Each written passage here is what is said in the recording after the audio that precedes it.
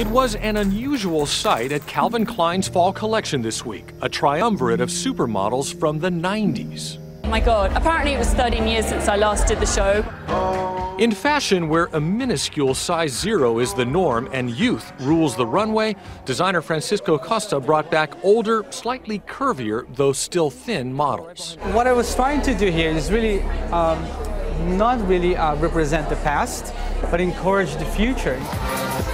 The 90s were about womanly supermodels, but in recent years there's been an unhealthy trend using very thin, very young, nearly indistinguishable girls to sell clothes. Some only 13 years old, according to fashion insiders who say age is something most in the business ignore. The, the difference is, I think when I was around, when they were, when they were maybe, you know, unhealthy, they would be sent home. And now it's like a desired look. Many models have been scouted from former Eastern Bloc countries. Far from home, it's easier for the girls to lie about their age.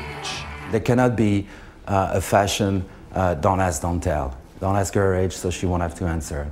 DNA model agency founder David Bonnouvrier says age and work regulations do exist in the U.S., but it's rare that the rules are followed. They know when, she, when, when they're fitting somebody that's underage or 15 years old. They know. It just has to stop.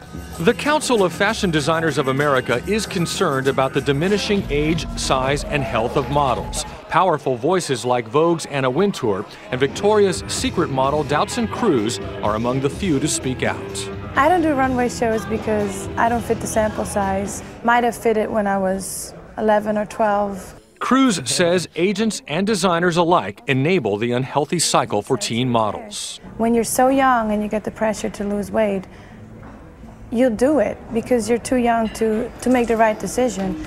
It's a concern that's been lost in the glamour and business of fashion. Manuel Gallegos, CBS News, New York.